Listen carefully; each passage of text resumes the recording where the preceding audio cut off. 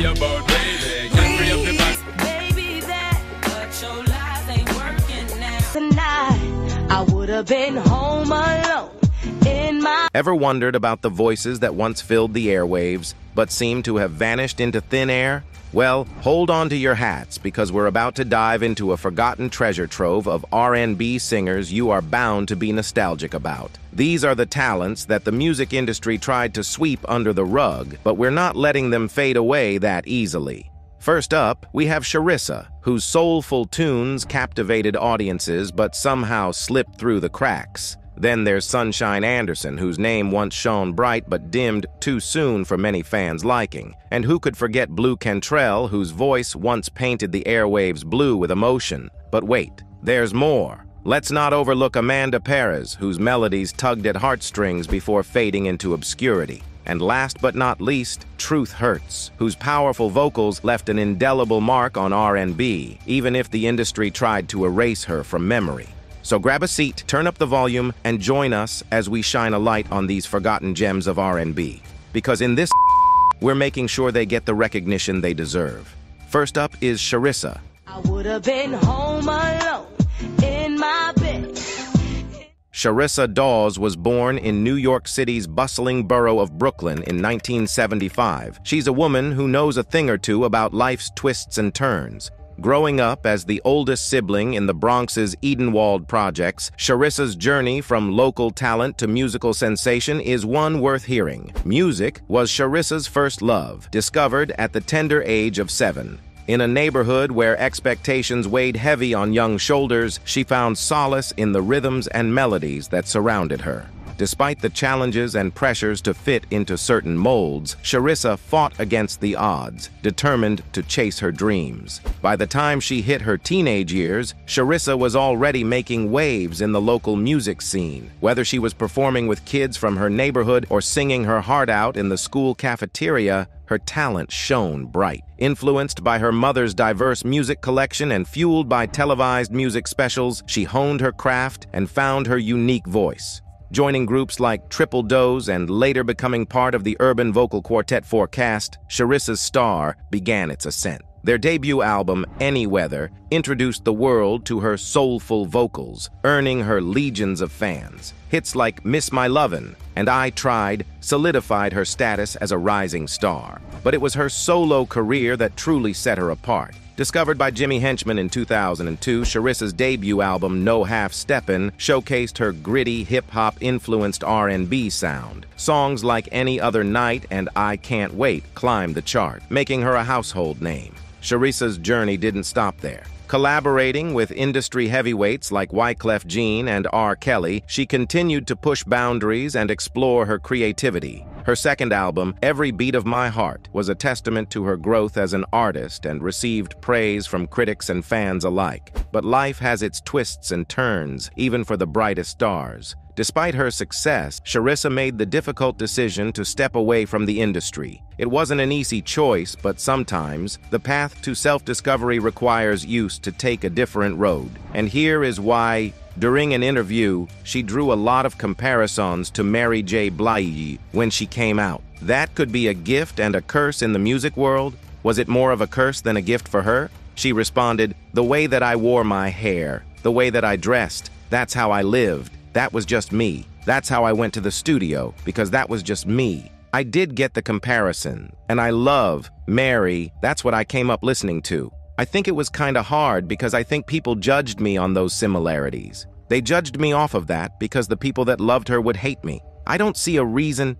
I don't know why we all can't just do our music and be okay. Mary has great records. I don't feel like I ever had great records. I was just expressing myself. Mary is on a pinnacle. Nobody can ever reach that. They did make it hard for me doing that. Every now and then I would hear little things like when they see my old videos, oh, she looks like Mary. I just kind of felt discouraged by it, but it's all good.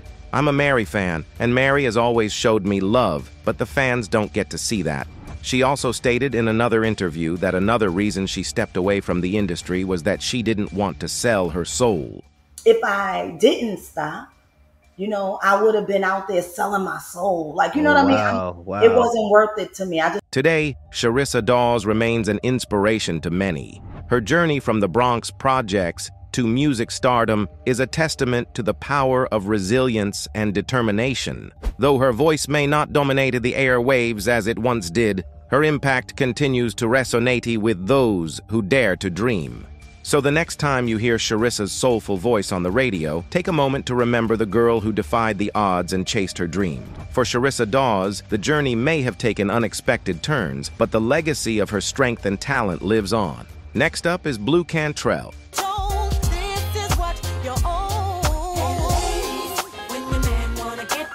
Blu Cantrell, once a rising star in the music industry, seemed to vanish from the spotlight, leaving fans wondering what happened to the talented singer. Let's take a closer look at her journey and the reasons behind her sudden disappearance. Blu's rise to fame began when she caught the attention of music executives in Atlanta, leading to a record deal with Arista Record. With hits like Hit 'em Up Style and Breathe, she quickly became a household name in the early 2000s.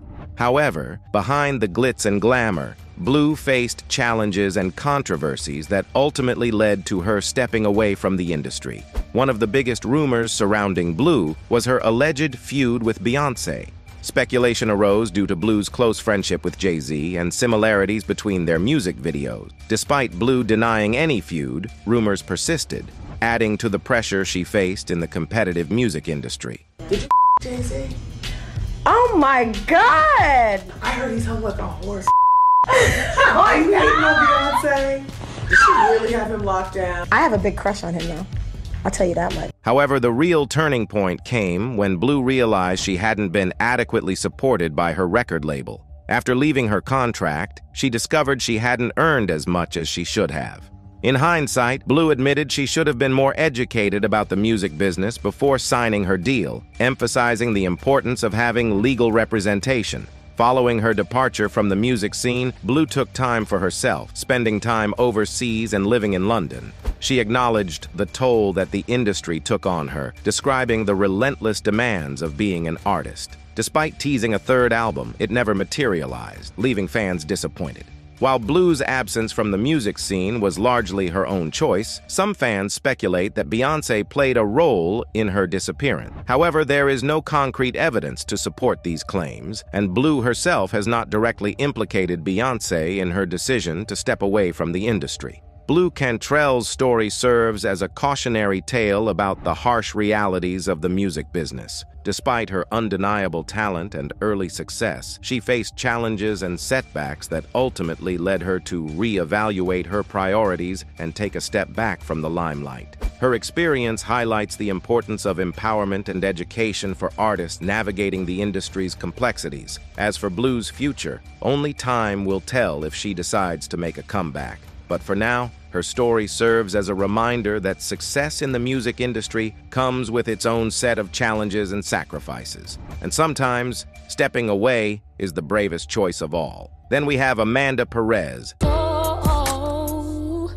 but it wasn't good enough for you. Amanda Jane. Perez, a talented American R&B singer, has a story that's as inspiring as her music. Born on May 24, 1980, she's not just a singer, but also a proud mom and a fighter who's conquered challenges to pursue her dreams. Growing up in Fort Wayne, Indiana, Amanda faced tough time. Raised in the Waynedale neighborhood, she attended North Side High School.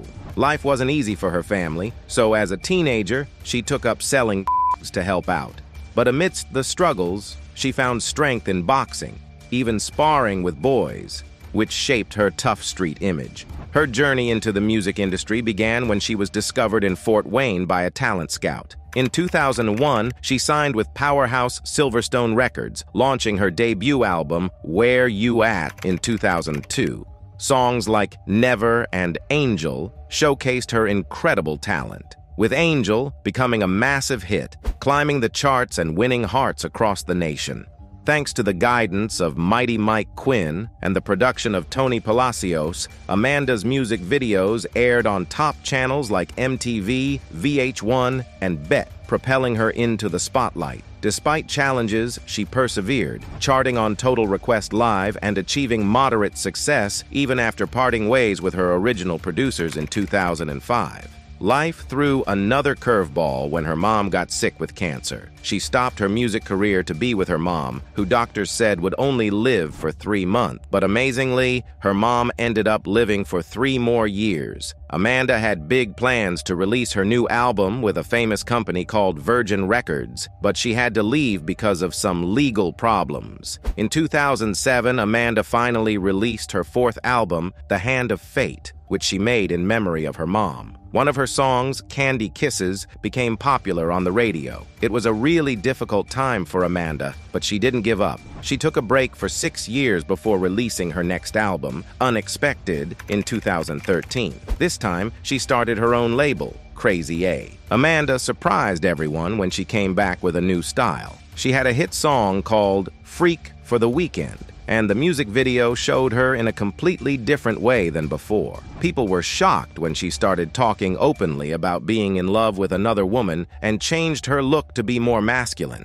In an interview, she said she's always known she's gay and she's just being herself. She even cut off her signature braids and gave her hair to help others. Amanda's story is all about facing tough time, following your heart, and staying true to who you are. She's not just a singer, she's a fighter. She's breaking down barriers and showing others that it's okay to be yourself, no matter what. Sunshine Anderson. Yes, I did. But your lies ain't working, lies ain't working. Meet Sunshine Jocelyn. Sian Anderson, the soulful songstress whose melodies have captured the hearts of many. Born on June 7, 1974, in Winston-Salem, North Carolina, Sunshine later found her groove in Charlotte. But her journey to stardom wasn't a straight road. It had its twists and turns, just like her soulful tunes. Sunshine's story took a twist when Wallace Sellers, a friend of music producer Mike City, stumbled upon her singing one day at North Carolina Central University. It was a chance encounter that changed her life forever. Soon, she found herself under the wing of none other than Macy Gray during the making of her debut album. Imagine that going from singing in university corridors to working with music industry giants. In 1999, Sunshine signed with Atlantic Records, paving the way for her first album, Your Woman, which hit the shelves in April 2001. The album climbed its way to number 8 on Billboard's Hot 200 chart and settled at a cozy number 2 spot on the top R&B chart. Her single, Heard It All Before, became a sensation, reaching number 18 on the Billboard Hot 100 and soaring to number 3 on the R&B chart. With her golden voice, Sunshine earned herself a gold certified album in no time. But her journey was far from over. In 2004, Sunshine embarked on a new adventure, signing with Matthew Knowles' Music World Entertainment. This marked the beginning of a new chapter in her career. In 2007, she released her second album, Sunshine at Midnight. Though it debuted at number 86 on the Billboard 200, it shone brightly at number 16 on the R&B chart. Sunshine didn't stop there. She hit the road with Brian McKnight, serenading audiences across the nation. Fast forward to 2010, and Sunshine was back with a bang. Announcing the release of her new single, Lie to Kick It on Twitter, she sent waves of excitement through her fans. Her third studio album, The Sun Shines Again, dropped on November 2, 2010, marking her triumphant return. With her soulful melodies and captivating lyrics, Sunshine proved that her light shines brighter than ever before. But you know life can be funny. It throws curveballs when you least expect it. Life took an unexpected turn, leading her down to the path of motherhood. In an interview, she spilled the beans, saying, Truth is, it's been a roller coaster ride. The music industry can be tough, like trying to swim upstream in a river of molasses. It's challenging when your passion is singing, but the powers that be make it feel like climbing Everest in flip-flops. Imagine pouring your heart and soul into your art, only to watch it gather dust on the shelf. That's been my reality more times than I'd care to count. These songs, these albums, they're my babies. But when they don't reach the ears they're meant for, it's like a piece of me goes unheard. You know, when people don't, and this, is- this, it doesn't get to the people. You know, you have a hard time with that. You know what I mean? And sometimes I fight with, um, you know, continuing to chase after an industry um, that hasn't been very nice to me, um, Right. so to speak. So Right. um, that's a challenge. It is a challenge. During one of those lulls between albums, she decided to pursue another passion. So, she packed her bags and headed to cosmetology school in Atlanta. Now, alongside chasing her musical dreams, she is a licensed cosmetologist. Talk about multitasking, right? It's all about diversifying your talents and keeping the dream alive, even when the odds are stacked against you. Right. I went to cosmetology school in Atlanta, got my license, you know. So uh, I multitask. Right. I'm, I'm a ja- I'm a Jill of all trades. Sunshine's journey is a testament to the power of passion, perseverance, and the magic of music. So, next time you need a little pick me up, just remember let Sunshine Anderson's melodies be your guiding light through even the darkest of days. Truth hurts. I'm entertained. My number one. My black Meet Shari. Watson, also known as Truth Hurts, a talented American singer, songwriter, and actress born on October 10, 1971, in St. Louis, Missouri. Let's take a journey through her life and career, filled with highs, lows, and a lot of soulful music. Back in 2000, Watson landed a record deal with Dr. Dre's Aftermath Entertainment label, a big step towards making her mark in the music industry. She made her debut as a backing vocalist on Busta Rhymes' hit single Break Ya Neck in 2001, catching the attention of music lovers with her powerful voice. Soon after, Watson dipped her toes into acting, appearing in small roles in movies like The Wash, alongside Dr. Dre and Snoop Dogg, and a cameo in Ali starring Will Smith. But it was her musical prowess that truly shone through. She collaborated with renowned artists like Dr. Dre and Timbaland for her first solo album titled Truthfully Speaking,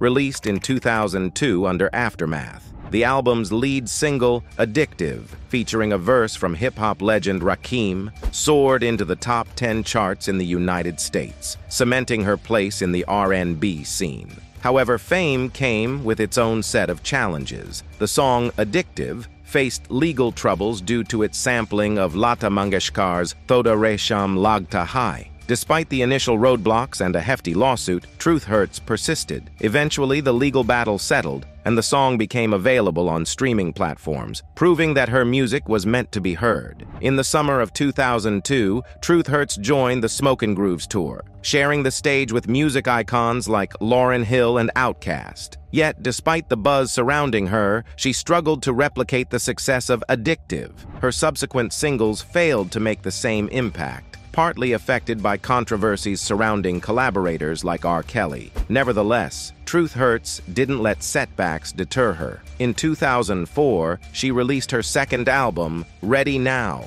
under Raphael Saadiq's Pookie Entertainment label. Though the album didn't gain as much traction as her debut, it showcased her versatility and dedication to her craft. In the midst of her musical journey, Truth Hurts lent her vocals to various projects, including collaborations with artists like J Dilla. Despite facing challenges and setbacks, she continued to pursue her passion for music, releasing promotional singles and performing across Europe. Fast forward to today, and you'll find her not only making music, but also gracing our screens with her acting prowess. From Netflix hits to blockbuster films, she's everywhere, and she's not slowing down anytime soon. But her journey isn't just about fame and fortune, it's about the love for her craft and the joy of seeing her hard work pay off. Truth Hurts is a force to be reckoned with, leaving behind a legacy of unforgettable melodies and unwavering determination. From her chart-topping debut to her ongoing musical journey, she's proven herself as a force to be reckoned with in the R&B scene. Keep an eye out for what she has in store next, because when it comes to Truth Hurts, the music speaks for itself. The R&B stars of the 90s and early 2000s filled our lives with soulful tunes and unforgettable melodies. But as time passed, many of them faded into the background. Share your favorite memories and songs, keeping their legacy alive for generations to come. And that's all for today. Until next time, bye.